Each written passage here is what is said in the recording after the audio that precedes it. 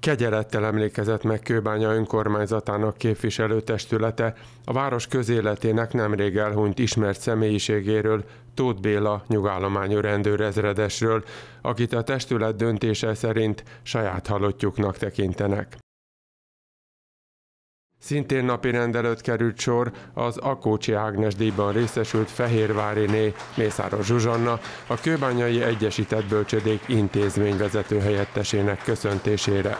A testület üléséről későbbi műsorainkban bővebben is beszámolunk. Addig néhány döntésről rövid summázatra kértük Déko Vácsóbert Antalt, Kőbánya polgármesterét. A képviselőtestületnek nagyon széles körű a döntési jogköre lehetősége, számos ügyel foglalkozunk.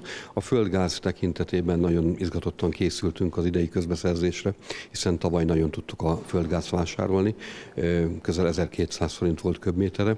Szerencsére idén más a helyzet, valamivel több mint 400 forintot tudjuk beszerezni, tehát harmadára csökken a földgázár, így az intézményeink fűtésénél úgy vélem, hogy ki tudjuk a költségvetési forrásból elégíteni a, azt, ami szükséges.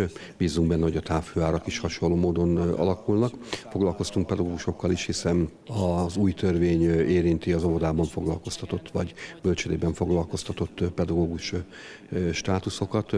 Az önkormányzat itt azt a döntést hozta meg, hogy a jogszabályi kötelezőségen túl mintegy 10%-os plusz fejlesztést adunk azokban a fizetési fokozatokban is, ahol ezt a jogszabály nem tenné kötelezővé.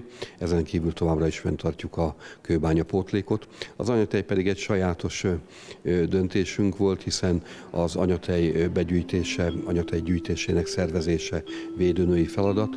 A feladat átkerült az államhoz, így a szerződésünket is átadtuk az ellátás szervező kórháznak.